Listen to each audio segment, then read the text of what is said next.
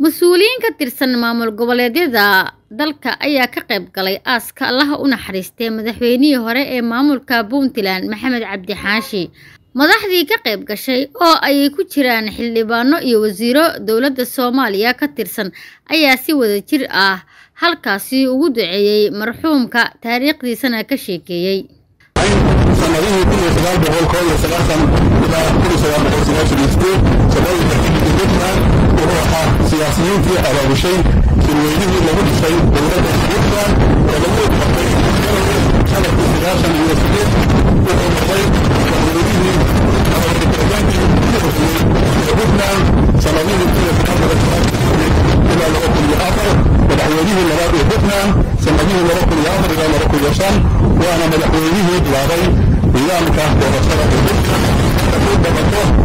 dambayn allah u naxariisto maxamed cabdi xaashi waxaa lagu xusuustaa maamul wanaag ifnaan hogaamin wacan daacadnimo iyo hogaamin ida aabbahay aad iyo aad kalgacalgeeliya oo hay shacbiga puntland waxaan aad idiin sheegayaa weligii inuu macno weyn ugu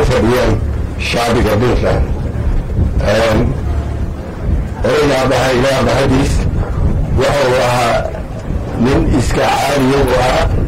Xaqdarrada aana jeclayn jecelna dadku meel kasta uu joogo in nabad iyo cadaalad iyo lagu wada noolaado.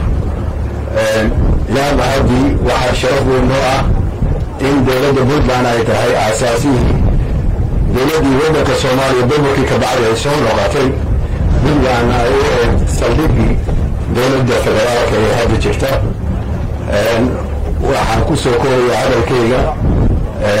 Waxaa kaloo aan jecelahay qoyskaygu gacsigiina uu diro allahu naxariiste waxaan ku bartay anigu wadanaya tiro badan dalka soomaaliya kala go-in aad ugu dadaala oo ka shaqeeya in laanaga daraamo ka shaqeeya maamulkana yaqaan qiimo weyn ku lahaa oo jeclayn ahaa.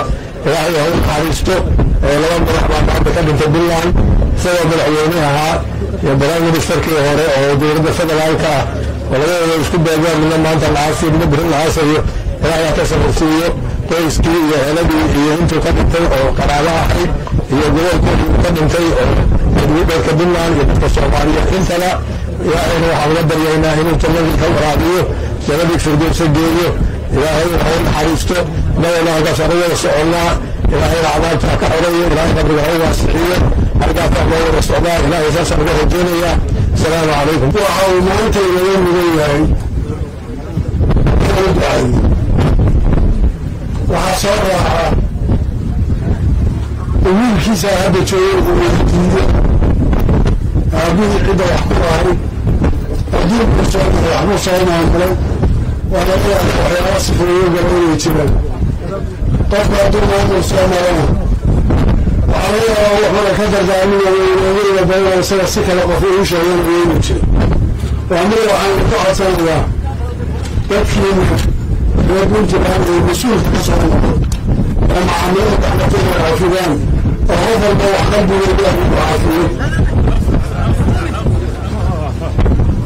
waxayna u yeesho iyo adduunkuu ku jiro kulli in leeyaha loo ciddii waratadiisa qofku uma qabsanina leeyahay hadduu cafiyo waxbaan ku lahayo waan ku lahayo iyadana u sheegto marxuumkaasi maanta ducuu naga mudan yahay aaskiisa oo dedejinno isaga ilaahay u barino inaguna aan soo cafino waxaad ogaataan maanta qof kastoo halkaa jooga wax sheeganaya meesar iyo wax sheeganaya beri waxaa u dambaysa marxuumkaas hadda markay macaasina wiilka dhalada ugu sukeeyo wax kaloo ka sheekaynaya aan iyada u shaqaysano guri madoyaa qof ilmatanaya gurigaas iftiin ma laha.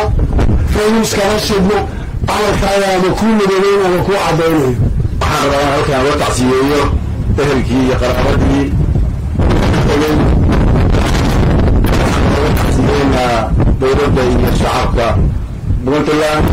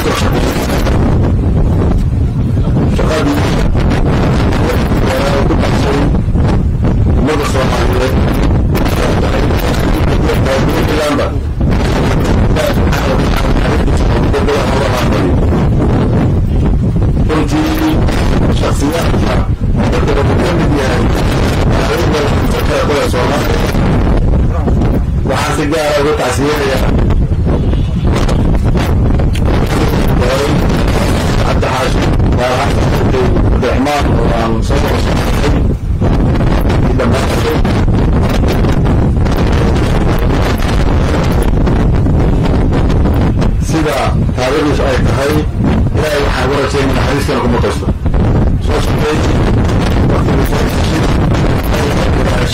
soo dambaysa shacabka reer puntland oo ka tegay madaxweyne madaxweynaha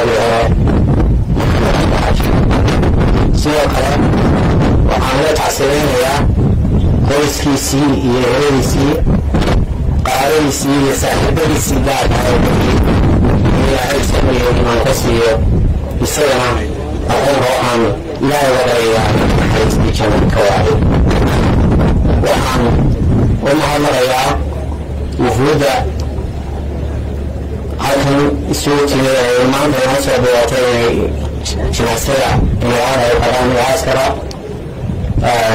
gudoomiyaha hore sare madaxweynaha dowladda jubbaland madaxweynaha galmudug iyo wufuuddii la socotay dhammaan dhaqanka simada iyo shacabweynaha kale ee reer gudaha soomaaliyeed ee goobka ku sugan waxaan ilaahay aan uga baraynaa naxariisto ayakeen maxamed aasno walaalkeen saaxiibkeen odayaashii qarankan soomaaliyeed guud ahaan nin ka mid ahaa oo inaga baxay. Ilaahay waxaan uga baryaynaa inuu jannadii firdowsa isla geeyo. Innagana guud ahaan ummadda soomaaliyeed oo dhan uu ka siiyo ay ka qaadaan samir iyo iimaan iyo gaar ahaan dowladda puntland iyo shacabka puntland si gaara iyo qoyskii uu ka geeriyoodayba waxaan leeyahay ilaahay samir iyo iimaan haynaga sii. Waxaan filayaa intaa haddaan idhaahdo oon idhaahdo ilaahay jannadii firdowso isaga hageeyo innaga guud ahaanna samir iyo iimaan haynaga siiyo. Waxaan ugu mahad celinayaa dhammaan intii janaasada lagu soo sharaftay gudoomiyaha adanka sare madaxweynaha jubbaland iyo madaxweynaha galmudug iyo isimada ka kala yimid dhammaan deegaanada puntland iyo shacabweynaha caasimada ku sugnaa dhammaantiinba waxaan leeyahay ajar iyo xasanaad ilaahay naga siiyo samar iyo iimaanna ilaahay naga wada siiyo. Waxaan intaa ku darayaa intii uu puntland u shaqaynayay. Waxaan kasanayaa dadka reer puntland ay ka taganayeen xadiga allaha u naxariistee marxuum maxamed cabdi xaashi ayaa ahaa madaxweynihii hore ee maamulka puntland. Waxa uuna ku geeriyooday magaalada nairobi ee dalka kenya balse maanta lagu aasay garoowe suleeqa siman cabdi. Raadiyaha iyo telefishinka city muqdisho